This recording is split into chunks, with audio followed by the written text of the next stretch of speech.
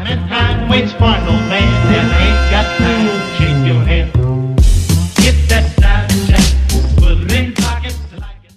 What it is guys, my name is Swifterrs, and today I'm going to be bringing you a brand new character launch glitch in GTA 5 Online after the 1.15 patch update. This glitch is a ton of fun to do, so hopefully you guys are going to be able to use it to your advantage with your friends in order to have some fun in GTA 5 Online, as it is getting a little bit boring. But other than that, for those of you who do go on to enjoy today's video, all I ask is that you'd slap that like button and subscribe to my channel for some of the best daily GTA 5 content. With that said, let's get started.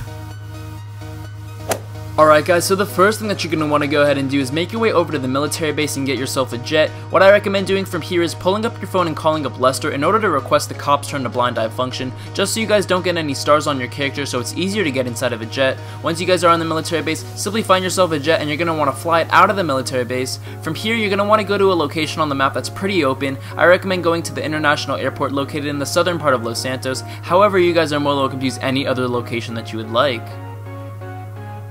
Now you will need to have a friend help you out with this part which does make this glitch a little bit more fun, so have your friend in the driver's seat of the jet, you're going to want to walk up to the side of it and hold Y or triangle on the PS3 to get inside, and as soon as your character begins to climb the jet, have your friend immediately begin to drive or hold on the acceleration on the jet, and as you guys can see it's going to glitch your character out just a little bit and fling him back on the opposite side of the jet. Now sometimes when doing this glitch, it may cause your character to actually get shot up vertically, so this is a ton of fun to do, and there's actually a bunch of different variations that you guys can do with this glitch. If you guys want, you can have your friend actually take off while you're getting inside of the vehicle, and it actually may shoot your character higher or actually push him farther than it already does, but nonetheless this is a ton of fun to do, so hopefully you guys are going to be able to use this brand new character launch glitch to your advantage in order to just mess around in the GTA 5 online sessions with your friends. Other than that guys, hopefully you guys did go on to enjoy today's video and if you did, be sure to leave a like and subscribe to my channel for some of the best daily GTA 5 content. I am sorry that this video was a little bit short, however I did think that the majority of you would enjoy seeing something like this, but other than that, hopefully you guys did go on to enjoy today's video, and also I would highly recommend if you guys stay tuned to my channel,